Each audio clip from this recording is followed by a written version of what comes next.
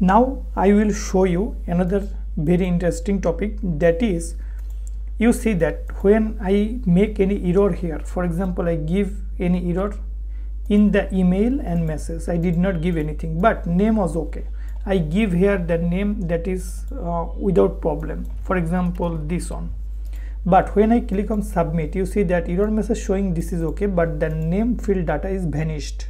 So in order to prevent this one what we can do here I can do another thing. That is in the input type text here I can use a very interesting thing. That is in the value field. So here just put a value field and into the value field what I will do? I will just write something like that or this one.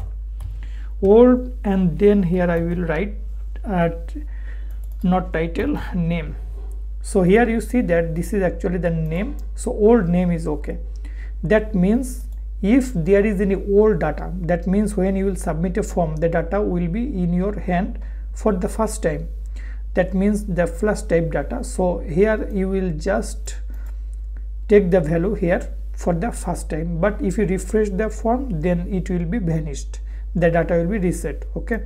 So here like this i can do the same thing in the case of email. So here I am again going to call here value. Here the email uh, I will have to write here the email.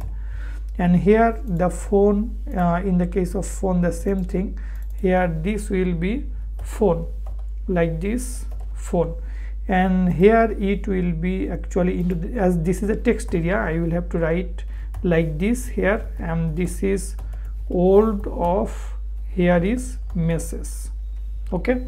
So this is done now let's check what will be happen if i refresh.